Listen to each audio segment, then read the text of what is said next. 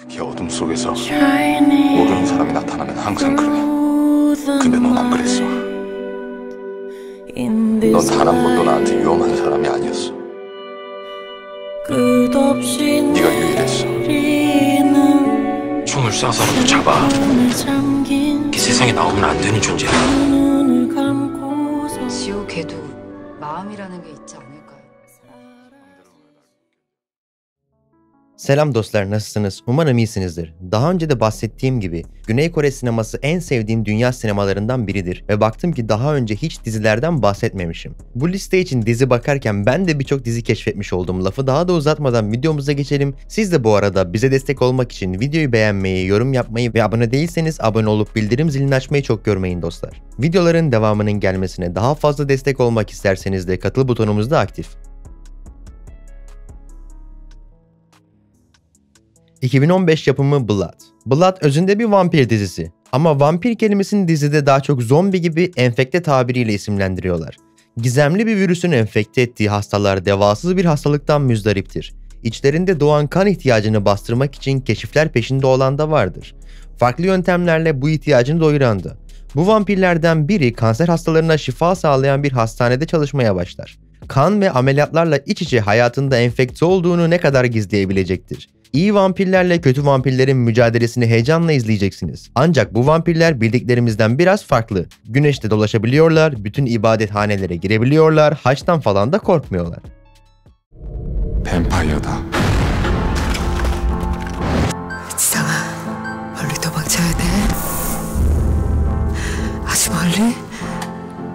네가 그랬듯이 나도 널 지켜줄게. Ve sırada güncel bir dizi olan Luca var. Luca The Beginning'de küçükken ailesini yitirmiş dedektif Go Reum ile bir takım özel güçlere sahip olan Jio'nun yollarının kesişmesi ve buradan sonra gelişen olaylar konu ediniyor. Jio özel güçlere sahip biridir. Ancak gerçekte kim olduğunu bilmemektedir. Hayatıyla ilgili gerçekleri öğrenme yolculuğunda karşısına birçok gizemli figür çıkacaktır. Gureum ise bir dedektiftir ve o planladığı herhangi bir konuda amacına ulaşmak için büyük bir kararlılığa sahip bir yapıdadır. O küçükken ailesiyle birdenbire ortadan kaybolur. Bu sebeple bu olayın ardındaki gerçeğe ulaşmayı amaçlar ve Jio ile yolları kesişir. Buradan sonra onun hayatı tamamen değişecektir.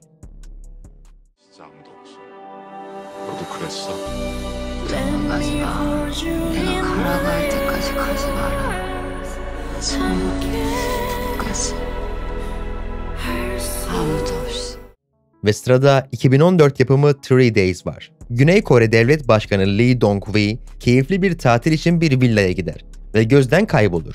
Ardından 3 silah sesi duyulur. Bunun üzerine koruması Han başkanı bulmaya çalışır. Ve hikayemiz böyle başlar.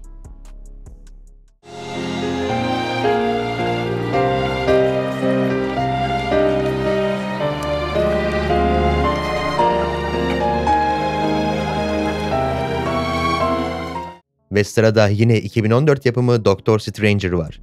Çocukken Parkun ve onun babası bir görev için Kuzey Kore'ye gönderilir. Kuzey Kore'de Parkun zaten bir doktor olan babası tarafından bir doktor olmak için eğitilir. Parkun göğüs cerrahı alanında bir deha olur ve daha sonra Güney Kore'ye sığınma talebinde bulunarak kaçar. Ve Parkun Güney Kore'nin en iyi hastanesi olan Dongwoo Üniversitesi Hastanesi'nde bir doktor olarak çalışmaya başlar ama kendini tam bir yabancı gibi hisseder. Kuzey Kore'den sevdiği kadını getirmek için para kazanmak için her şeyi yapmaya hazırdır.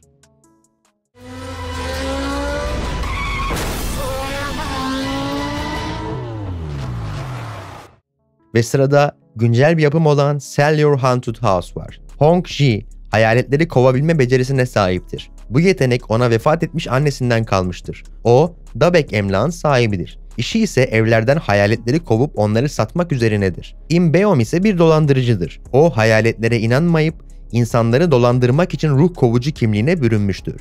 Hong Ji, 20 sene önce ölen annesinin vefat edişiyle alakalı bir takım gizemleri çözebilmek için Im Beom ile işbirliği yapacaktır.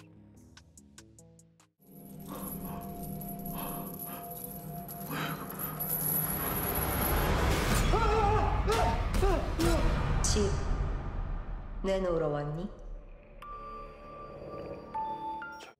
Ve sırada 2015 yapımı Remember var. Wu Bin, hipertimezi yani kişinin geçmişine yönelik olaylar ve deneyimleri normal insanlardan çok daha fazla hatta hayatının çoğunluğunu kapsayacak derecede hatırlama durumudur. Yani karakterimiz bu hastalığa sahip.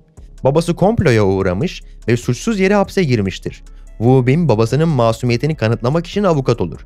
Fakat babasının masumiyetini kanıtlamak için çabalarken bir bir anılarını unutmaya başlar. 변호사가 필요해. 누명 풀어주는 변호사. 여기서 던져버렸어 아무도 분명 숨겨진 진실이 있을 거야. 난 진실을 알고 싶어. 서재 역시를 오정아씨 살해 혐의로 Ve sırada 2013 yapımı ve ülkemizde de yerli bir uyarlaması olan Good Doctor dizisi var. Ülkemizde Mucize Doktor adıyla yayınlanan dizinin orijinal Güney Kore versiyonunda Park Ji-on isminde otistik sabant hastalığına sahip bir adamın hikayesi anlatılıyor.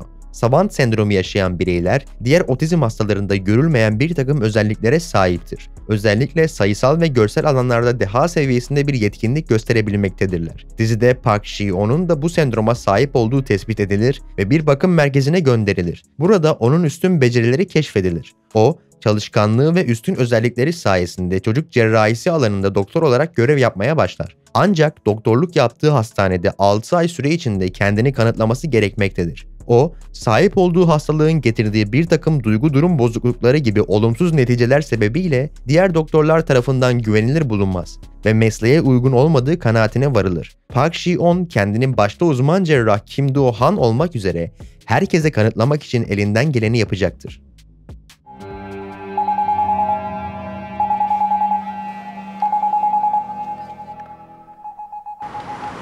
이봐요. 파란불이에요.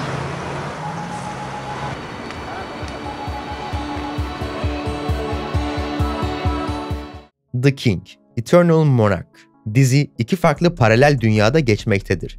İnsanların dünyasında serbest kalan şeytan diğer bir paralel dünyaya geçiş yapmaya çalışmaktadır. Buna karşılık Kore İmparatoru Lee Gon, paralel dünyaya açılan kapıları tutmaya çalışır. Bir diğer paralel dünyada Güney Kore Cumhuriyeti'nde yaşayan dedektif Jung Tae-eul, insanların ve sevdiklerinin hayatlarını korumaya çalışır. 가자. kumura. Designated Survivor 60 Days Park Mo-jin eski bir kimya profesörüdür. Şimdilerde ise ülkesinde çevre bakanı olarak görev yapmaktadır. Mecliste toplantı gerçekleştirildiği sırada bir patlama meydana gelir ve devlet başkanı dahil birçok bürokrat hayatını kaybeder. Park Mo-jin ise hayatta kalan en üst düzey yöneticilerden biridir. Bu yüzden kendini bir anda devlet başkanlığı koltuğunda bulur. Hiç istemese de 60 günlük sürede başkan vekilliği yapmak zorundadır. Park Mo-jin ilk iş olarak bu terör saldırısını gerçekleştirenleri soruşturmaya başlar. Fakat bir yandan ailesini de korumak zorundadır. 이 자리에 있네요. 존경하는 국민 여러분, 안녕하십니까? 대통령 권한대행 박무진입니다.